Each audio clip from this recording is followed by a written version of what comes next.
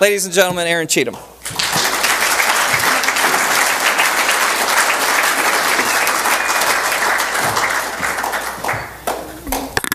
All right. So just a couple of ground rules real quick. I don't know if anyone noticed, but there are a lot of people here right now that dictate whether or not I have a job after this presentation. so no matter what happens, I need you to nod like you're listening intently. If I say something that looks like it's mildly trying to be funny, just laugh. Don't just do me a favor and laugh. So but in all honesty, it's, it's an honor to be here. Fun fact apparently, I am the 5,236th program to present at this Rotary Club. So I, I think that's pretty amazing. I've never been the 5,236th of anything. So um, I really appreciate that, that title. Um, and then, of course, to be among all of you guys, this Rotary Club who's been committed to making a difference in the community for over 100 years. I think that's awesome, and you guys also de deserve a round of applause for that. So, reentry and transition manager, it probably sounds like someone just made that up. That's because I just made that up, and, and now it's my title. So, and hopefully throughout the presentation I can explain what it is that the reentry and transition manager does. Um, so I can't start by talking about the the impact that we're making in the community without first, as Clint kind of touched on, our relationship with the Department of Corrections. Um, so since 1995, we've given inmates the opportunity to come to the farm, gain experience, gain certifications, uh, be able to put things on their resume that they wouldn't have been able to put in the past. So that way when they get released, that they're able to put these skills to work and actually be prepared for reentry back into society and be productive members of society. Um, over the course of 23 years, this has grown to roughly 200 inmates that are coming out on any given day and they're working, they're building skills, they're gaining experience, and not just in, you know, aspects of the farm that are specific to Hickman's, but there's a lot of skills that, are, that have a wide range of applicability to other businesses so that they can go on into the community and do you know, whatever it takes for them to be productive members of society. And of course, it goes without saying, this helps reduce recidivism. This helps make it so that when these people come back into the community, they're not committing more crimes or doing whatever they have to do to survive. They have skills that they can use to actually go to work. Why is this important? Why do we care about this thing? Why do we want to reduce recidivism? Why has Director Ryan committed to reducing the number of people that are in prisons and, and getting people back into the community? So I thought I'd use some numbers just to kind of reflect why this is important. So 42,000, that is actually the number of incarcerated people in the state of Arizona. That's a huge number. In fact, that's almost more than U of A has as their entire student body. Um, almost, not quite. Almost. I'm just saying. Well, I guess what am I saying? That's that's an entire university of you know population that's locked away in our prisons. Just to give us an idea of that number, um, 357,000. That is the number of Arizonans with the current felony, and of course that number is growing. There's a statistic that says that someone who has a felony is probably 50% less likely to get employed than someone who doesn't. And if that number is growing, that means that those are Arizonans that are having a much more harder time finding employment and they're sort of being labeled as a misfit to society. Um, so of course that's a problem. 25,000, that is the amount it costs to incarcerate one person in the state of Arizona. That's over the course of a year. And if we think about the 42,000 that are incarcerated, that's over a billion dollars that we're putting into housing inmates. Um, so yeah, that's a large number. 95, this is probably my favorite statistic because there's a misconception here. Um, that is the percent of inmates that will be released back into the community. A lot of times, you know, we send people away after they've committed a felony and we, and we feel like we can just forget about them. But there's a misconception because 95% of those people are coming back into our community. And guess where they're moving to? They're moving back, you know, they're going to be our neighbors. They're going to be playing at the park with their kids while we're playing at the park with our kids or our grandkids. Um, and they are members of our community. they're just kind of away in prison and they're you know they're serving their time but they are coming back and we can't forget about that so what are we doing to help them transition in the community? What are we doing to make make it so that they can be productive and not have to go back into a life of crime? And that's a question that we have to ask ourselves. Um, before I get into that, I, I use this segment to kind of talk a little bit more about myself because I think it's important as far as why I'm uniquely qualified for this position. So, I was born and raised in Arizona, lived here pretty much for my whole life. Um, graduated from Brophy College Prep. Uh, moved to Dallas for four years. Graduated from Southern Methodist University with a bachelor's degree in chemistry. Um, and then I came back to Arizona and things kind of spiraled out of control for me. Long story short, I don't want to get into the nitty gritty of everything, but I ended up in prison. I was in prison for two years. And then after that, I had to serve two years on parole. And yeah, and it, it wasn't pretty at all. And the reason I bring this up is just so that I can see how the faces change. Even Mr. President, just now I caught him. Um, the way you look at me immediately changes when I say that, you know. Before I was just this well spoken, good looking gentleman up here speaking. but now, as soon as I divulge that information, now I have this scarlet letter on my chest and I'm a felon. Some of you guys maybe even forgot about everything else I just said in this presentation and you're thinking to yourself, wow, you went to prison? Um, and the reason I bring that up is because that's what every felon deals with when they come out of incarceration. You know, we, they see that box, we check that box, and automatically we don't want them in our community, we don't want them working for us, we don't want them around our kids, and they're labeled as a misfit, and we don't want them. So even someone like me who comes up here and, you know, well spoken, mildly good looking, and but still you, you kind of write me out. There's a part of you that says, you know what, wow, that guy right there, he's a felon, and you know, it's, it's, it's one of those natural prejudices. We all do it automatically. We don't even, we don't even know we're doing it, but we do it. So I just thought I'd, I'd bring that up. Now, little confession, I wasn't 100% honest about that. When I was in the Department of Corrections, I was actually working as a corrections officer. Um, and I worked as a parole officer as well for two years, so even Mr. Hickman Sr. was like, oh my goodness, who do we hire? Nobody told me this. Rest assured, you're okay. We're good. I do not have a felony background. But the message there is still the same, though. We do that automatically. So now everybody's smiling again. Okay, we're good.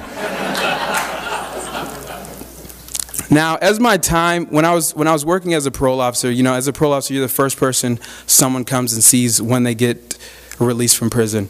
And I saw with an alarming rate that a lot of guys are coming out and they're homeless and they're they don't have the potential for employment or it's just going to be really really difficult to get that employment. And of course if if you don't have those two essential things a stable residence and stable employment poverty is just the next thing.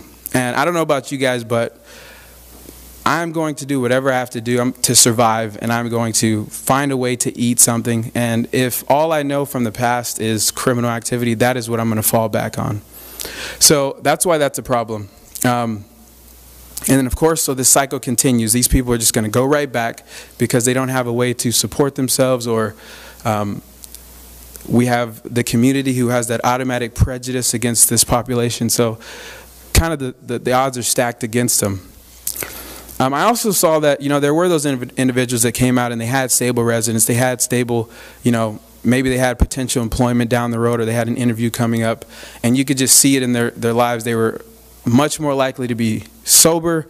They were much more likely to, to lead a healthy family life. And ultimately, they just had more success. So, of course, the question comes up again you know, what are we doing to help these people transition back into our communities? Because they're coming whether we like it or not. Um, Another statistics, 1 in 13 Arizonans have, has a felony. So looking at the population in here, there's probably about four or five felons in this room right now. Don't raise your hand. We don't need to know who you are, but that's what the statistics show. So um, little did I know this vision was already in work, and, and this is something, like I said, for tw over 23 years, the Hickmans have been working in this area, and this whole project just evolved from, from that relationship. So, and of course, we, we come to our employee housing, and this is really something that we're really proud of and we're really excited about because um, even just the idea, it's quite simple. You know, you give someone a stable residence, you give them the access to employment, and you don't make them have to travel to get there. You know, there's not a need for housing, there's not a need for employment, and there's no need for transportation. Those are three barriers that almost all recently released offenders have trouble with. So, thus the Hickman housing. So, go ahead and give us a round of applause right there. Just one time, one time, one time. Someone wanted to do it, so I just thought I'd do it. Okay, so 40 units, and these units are fully furnished.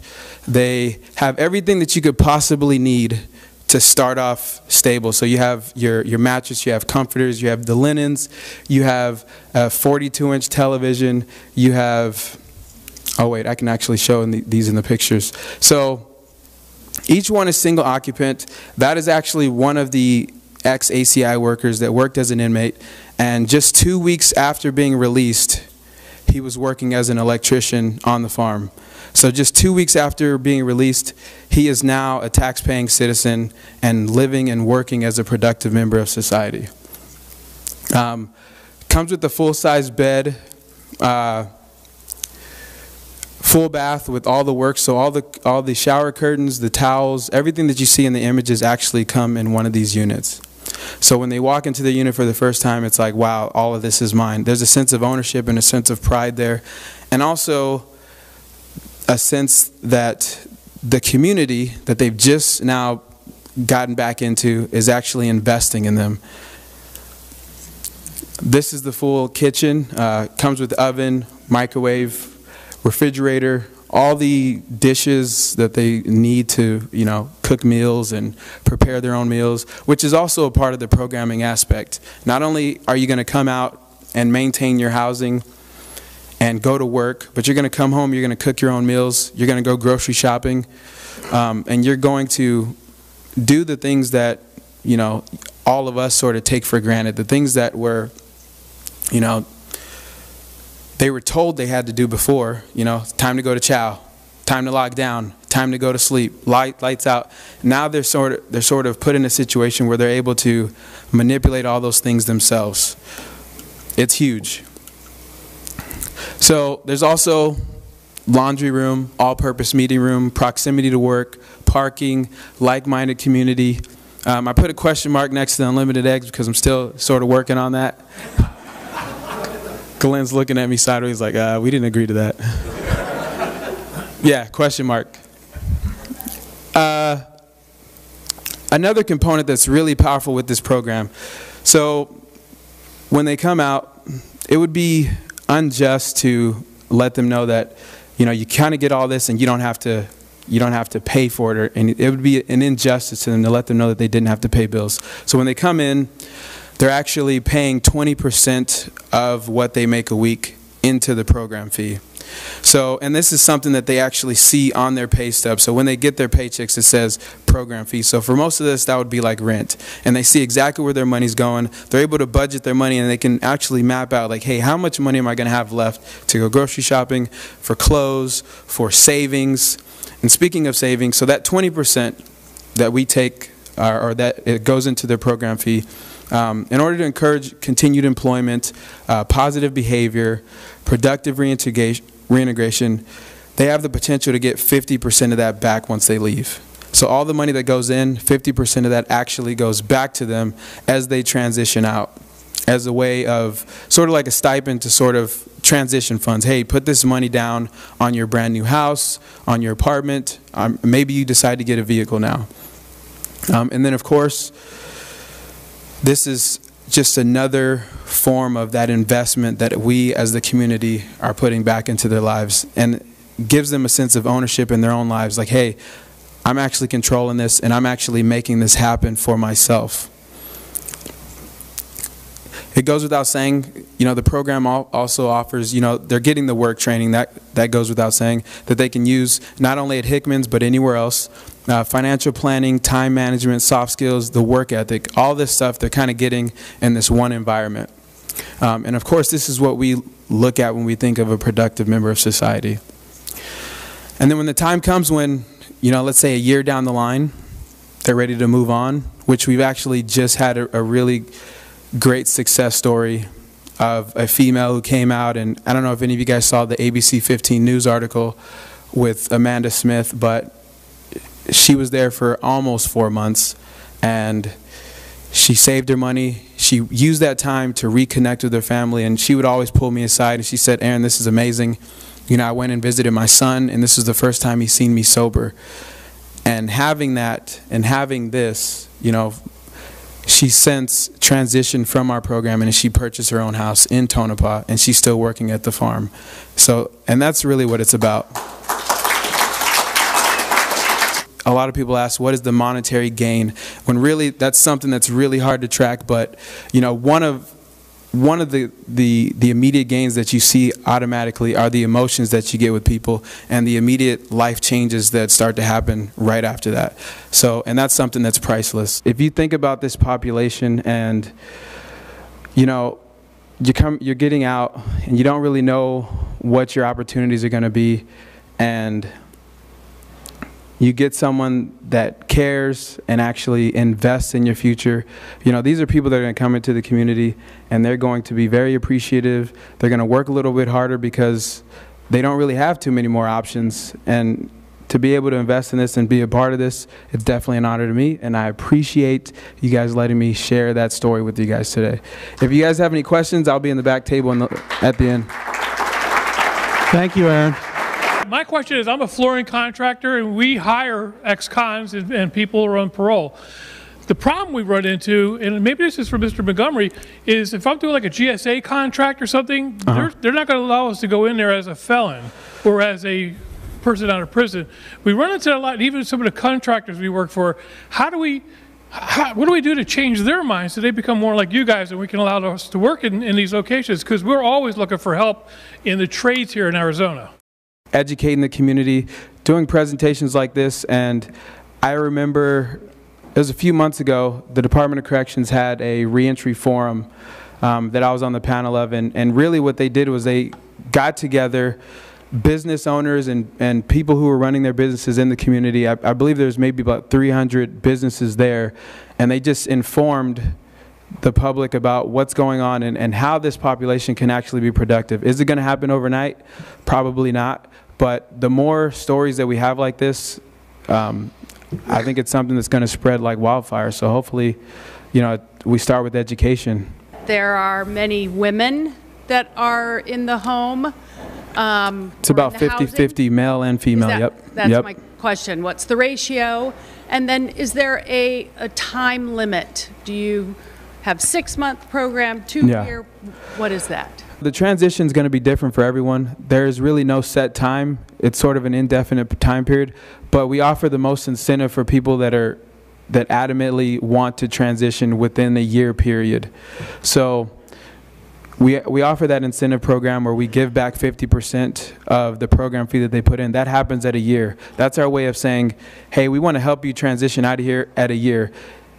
At 15, 18 months, that percentage goes back down. So we kind of offer that incentive to kind of get out. Amanda Smith, as you can see, it only took her three to four months and she was ready to go. So transition is going to be a little different for everyone. And, you know, when you're dealing with humans, you, you just got to kind of work with them and, and figure out what they, what they want to do.